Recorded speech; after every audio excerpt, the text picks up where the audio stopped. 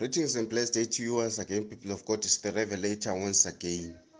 And hoping the grace and the mercy of our Lord Jesus Christ is with you until the end of time. We are coming from a very exclusive sermon presentation where I explained about the watchers and the gatekeepers. And I explained about two realms the realm on the ground of the earth, where the gatekeeper is in charge, and the realm in the firmament where the watcher is creative and flexible. And today, we want to enter into yet another significant sermon presentation inside the Word of God. And today, I want to talk about the author of confusion. The author of confusion. And there is no other author of confusion who is none other than Lucifer the devil. And I'm going to be explaining how the author of confusion instills that confusion, disorder, misunderstanding inside the Church of Jesus Christ. So, for us to understand more on this presentation, let us get into scriptures in the book of First Corinthians, chapter 14, verse 2. And it reads, For he that speaketh in an unknown tongue speaketh not unto men, but unto God. The scripture that I'm reading here is precisely saying, He that speaks with an unknown tongue does not speak to human beings, he speaks unto God. But there is a level in which a God can be found inside a human being. And you start speaking in a tongue with what you presume to be a human being, yet it be a God.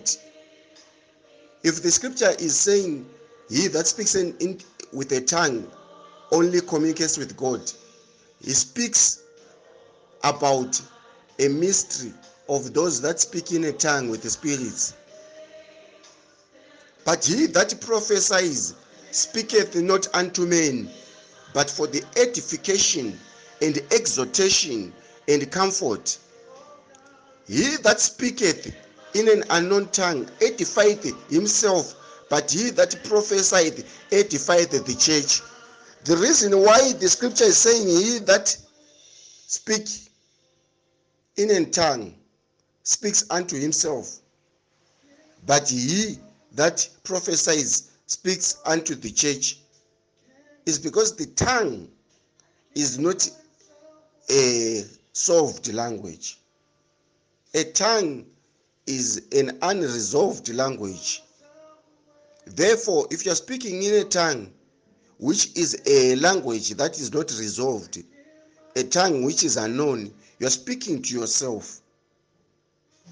If you speak in a tongue that you don't discern, if you speak even in a tongue which is genuine, which is a tongue of God, yet the church does not hear what you're saying, you don't edify the church, you edify yourself. But when you prophesy, prophecy brings clarity to the church. Confusion begins when you speak in a tongue and you don't want to be lectured about your tongue. Confusion begins when you speak in a tongue and you don't want to know what that tongue means. Confusion begins when everyone in church is speaking in tongues and you have visitors in church who are less privileged to hear what the church is saying, and even the church itself does not understand what it is saying. I'm talking about the author of confusion. And then in First Corinthians chapter 14, verse 5, Would that you all speak with tongues, but rather you prophesied. For greater is he that prophesies than he that speaketh with tongues, except he interpret that the church may receive edifying. Apostle Paul is not restricting tongues, but he's saying, Greater is he that prophesies than he that speaks in a tongue. Why? Because it is less profitable for the church, for the whole church to speak in tongues, which they don't understand. So it is more profitable for the church to speak in tongues if there be an interpreter like the revelator. I've explained that there are only two men that I've seen who can interpret tongues, who don't only interpret tongues, they can communicate with the spirits using tongues, not just praying in tongues, but speaking in tongues. And that is the revelator. Mysteries and Revelations. And John Anosike, Pastor John Anosike, Revelation Ecclesia. And that has nothing to do with breaking. It is setting clarity. I've honored different men of God who are in their special areas of spiritual speciality. Explained how Prophet Angel is a star in the prophetic office. I've explained how Prophet Makandiwa is a star in the teaching office. I've explained how Pastor Chris is a star in the area to do with the word clarity. So everyone is given a certain office. But when it comes to the area to do with speaking in tongues, this is something that you can find almost in the whole church doing. But they don't have an understanding. They don't want to seek for an interpreter. But wait before you seek for an interpreter, you have to discern what is coming out of your mouth. And the author of confusion, who is called Lucifer the devil, is there to maintain you in that confusion and make sure that you don't seek clarity. You strengthen each other in those lies while it's in the church.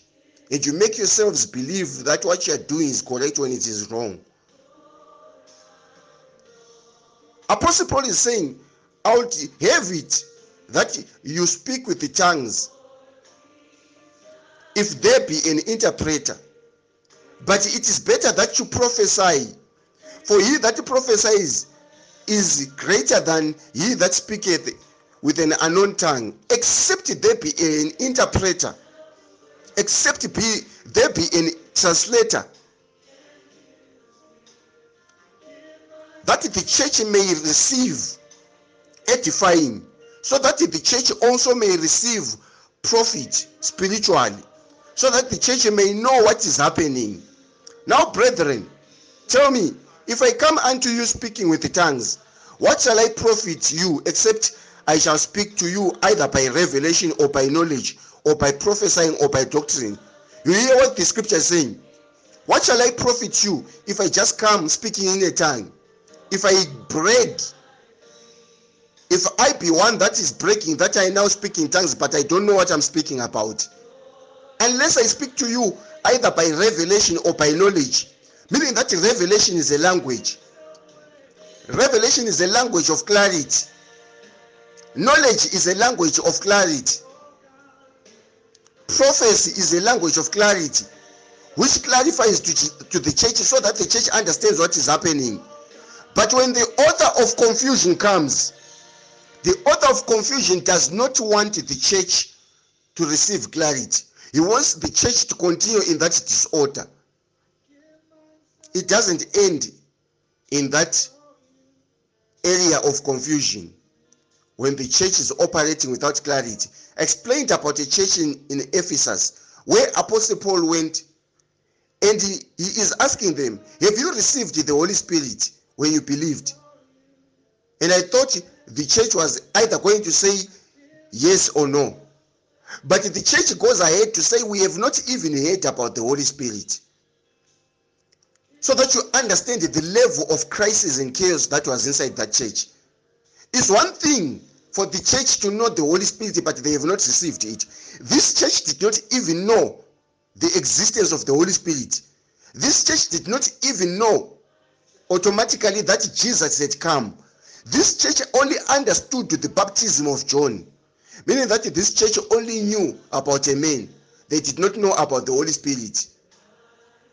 And it was already a church. And you can imagine what level of confusion was inside that church. And after Paul realized this, he prayed for them and the Holy Spirit fell upon them.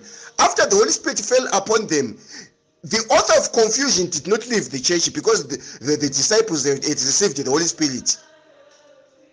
all of them, they started claiming that they were called, including the business people, including the cleaners, including those that do deco, including those that are supposed to just sing, including the ushers, all of them, they were claiming that they can drive out demons. That is another level of, of confusion, which gives evidence of disorder in a church. When everyone now claims to do one and the same thing, it's just like when the whole body of Christ is claiming to be made up of prophets. Where are the evangelists? Where are the apostles? Where are the teachers? Where the, are the interpreters? Where are the translators? Where are the businessmen? Where are the administrators of the church? The church must not have that level of disorder, lest it be a church that has been hijacked or a church that has been inverted by the master and the author of confusion.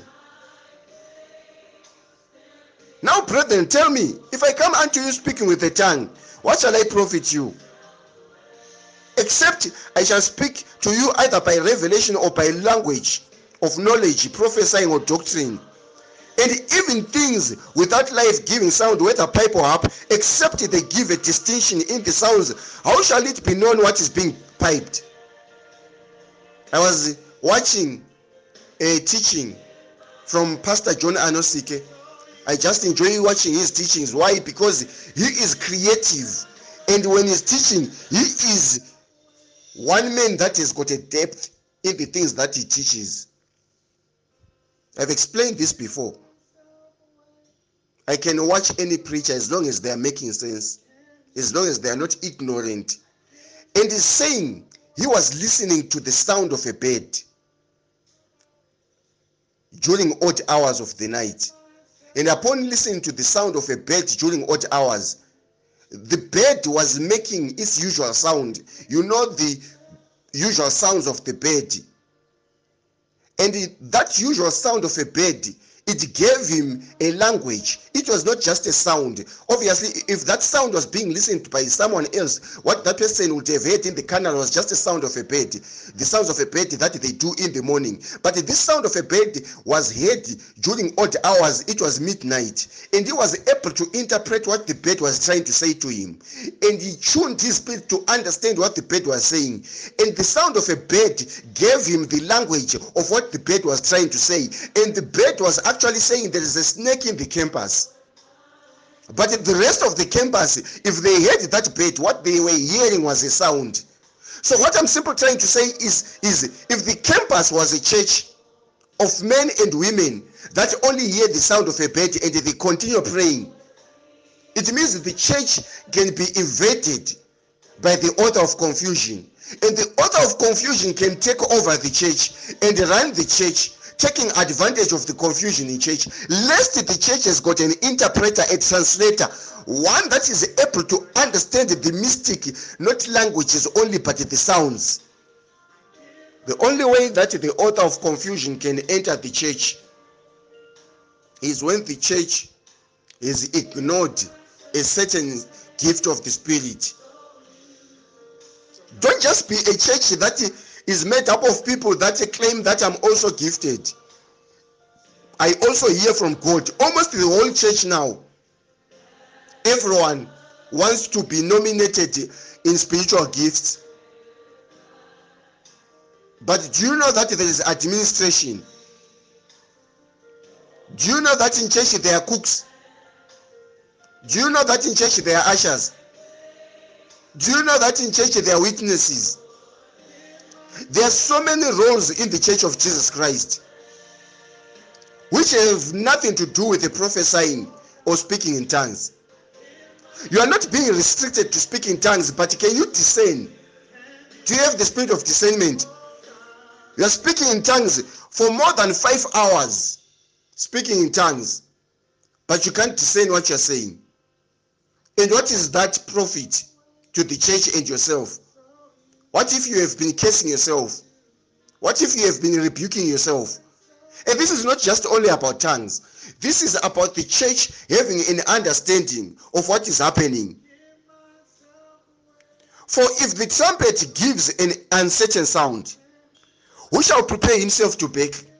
So likewise, you expect you utter by tongue words easy to be understood. For how shall it be known what is being spoken?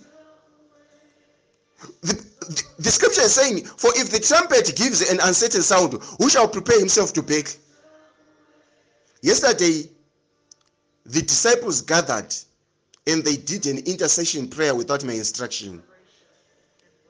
Not that they are supposed to intercede under my instructions only, no.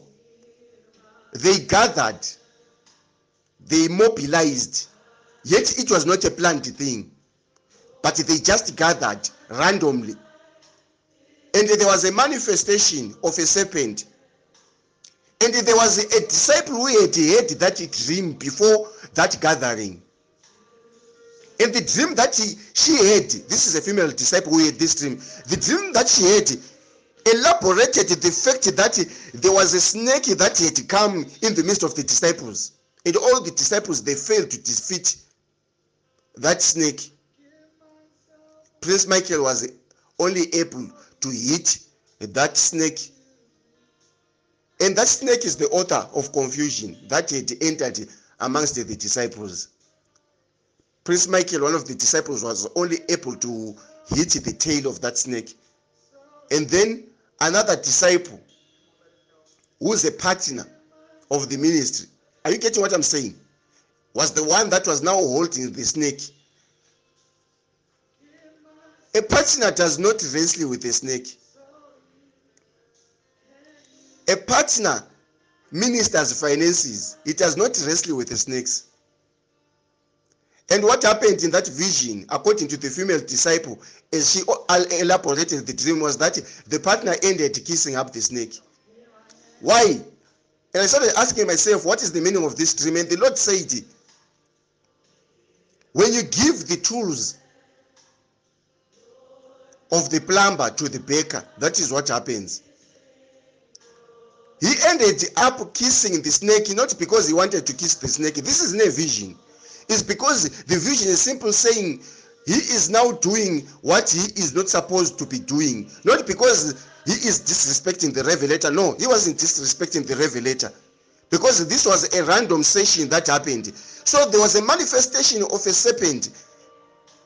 And one of the female disciples started chasing that snake, but they couldn't see the snake. They were assuming by hearing what was coming out of the mouth of that disciple. But what they didn't realize is that the snake had already entered one of them. And I only had the capacity and the promise to prove to them that I'm going to be exposing that snake in the next session. So, what is happening? What is happening is simple. The devil is able to come and cause disorder. If he comes and causes disorder, it's not yet enough until he becomes the author of confusion. When he becomes the author of confusion, he has come with a mission to destroy. You become disorganized. You no longer know your roles. You just do things random without instructions, without being given permission. You just speak in tongues without an interpreter. You just pray amiss. Do you know that for you to drive out a demon, you must know what type of a demon you are going to drive out? Do you know that before a demon manifests, you, you are supposed to know what type of, of a demon is going to manifest? Do you know that in the silence of a demon, there is a language that is being spoken by a demon? Do you know that there is never a moment that God is quiet? God can be speaking in silence. He can be heard. Same applies to demons. Demons can be speaking. Even before manifestation, I can communicate with the demons. But you can only hear demons when they have manifested in someone, which is very dangerous. Do you know why? Because demons are going to lie to you. How are you able to interpret that this is a snake inside a person just because the person is, is spoke about a snake? How are you able to know that you you conquered the snake? Did you see it spiritually? Or you assumed? How did you conclude that in the spirit? You see there are things that need one that is anointed for that area to be present. Even those that are sewing clothes, they've got departments. There is one that does the patterns, there is one that does the collar. I'm talking about the body of Christ. Even those that are mechanics, there is one that does the auto, who only specializes in the electrical areas that influence the well-being of a car. There's the mechanic side. There's he that does engine overhaul. Even in building, there is he that does the door frames. He that does the windows. He that does the, the building of constructing the walls. He that does the construction. He does that does the mapping, the plan before the building. Everyone is given his or her role for the benefit of the body of Christ. But your problem is that you you want the greater gift. And which is the greater gift? And according to you, the greater gift is prophesying. This is why all of you want to be prophets. Yet the church has got several roles. I explained in one presentation how the church has got many roles. Way too many roles. Way too many roles, more than the fivefold ministry, which has been explained to you. Therefore, if I don't know the meaning of the voice or whatever is being done in that church, I shall be unto him that speak a foreigner or a barbarian. And he that speak unto me shall be a foreigner also. Even so, for as much as you are zealous of spiritual gifts, seek that you may excel to the edifying and the understanding of for the sake of the church. You don't just enter into spiritual things without being permitted, without being mentored, without being given knowledge and understanding. You need to be equipped with the understanding. Wherefore, let him that speak in an unknown tongue pray that he may interpret. Wherefore, let him that drive out a demon seek spiritual wisdom and understanding way before the demon manifests, so that he may not be deceived by a spirit. Wherefore, let him that drive out a demon be careful because you are dealing with dangerous spirits. What if they attack you? What if something happens to the one that you are praying for? What if that demon that you have provoked remains in your house with a mission to attack you? There are so many consequences that cannot be counted by one that is just zealous for a spiritual gift. With the way that you love your family, the way that you listen to your wife, the way that you listen to your husband, the way that you want to protect your children, and you want to drive out demons, do you know the consequences? I'm not threatening you. I'm just making you conscious to understand what you you you are getting yourself into what you must get yourself into what you must prepare yourself for if you want to get in, inside these battles. Why? Because you're not told the whole story by preachers. You only see preachers driving out demons. You don't know the life that we live behind the scenes. You don't know that there are sleepless nights fighting back the demons that will be we will we will have driven out of you you don't know our lives behind the scenes there is unrest, there is misery, there is rejection, there is loneliness, there, there are sleepless nights. You don't want, you can't live like that. You don't even want to stay away from your own relatives, but you want to drive out demons. You think driving out demons gives luxury. You need to be careful. You are not being restricted to drive out demons, but you need to take this into consideration that there are consequences and you must be prepared for them. After driving out demons, when a demon strikes your son or your daughter, will you not look up to your mentor to ask him why, why, why that happened? Will you not question yourself and link up to an activity that you did without permission? What is it then? I'll pray with the spirit. I'll drive out demons with the spirit. I'll pray with the understanding. I'll sing with the spirit.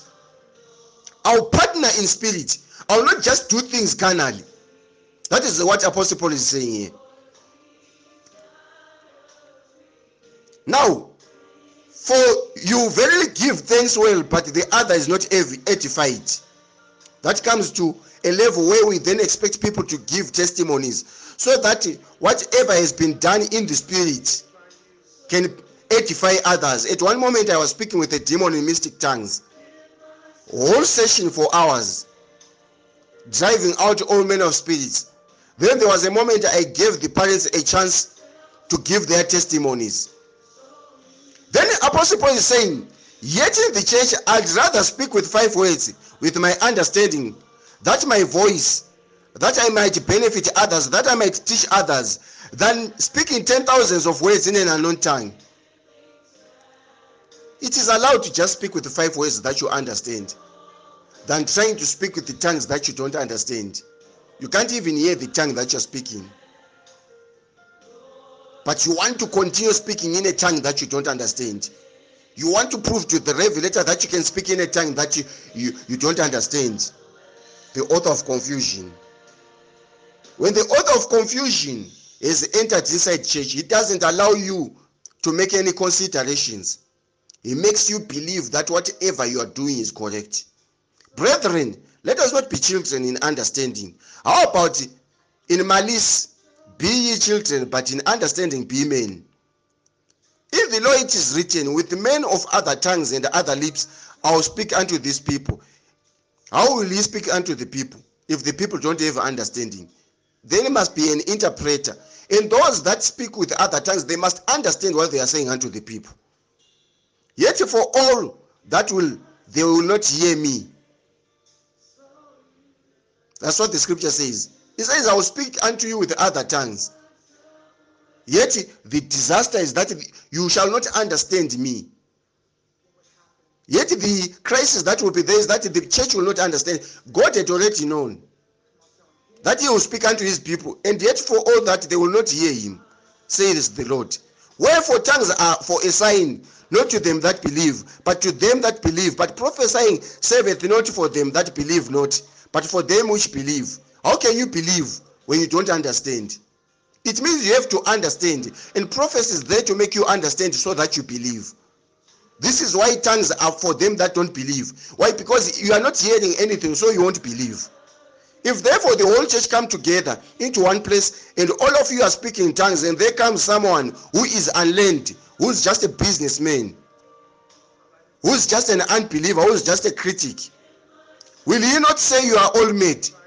Why? Because you're just speaking in tongues. You're just driving out demons and you don't know what you're doing. You don't even know what manner of spirits you have driven out. You're just listening to demons speaking and you don't even know that at this level the demon is now deceiving us. You're only listening to what the demon is saying. You don't have discernment to even measure what that demon is saying. But if all prophesy and they come in one that believeth not, or one that is unlearned, he is convinced of all and he is judged of all. And by so doing, all the secrets of the heart are made manifest, and falling down on his face, he will worship God. You can only reach the level of testifying or falling down to worship God when you have understanding of what is happening in the church of Jesus Christ.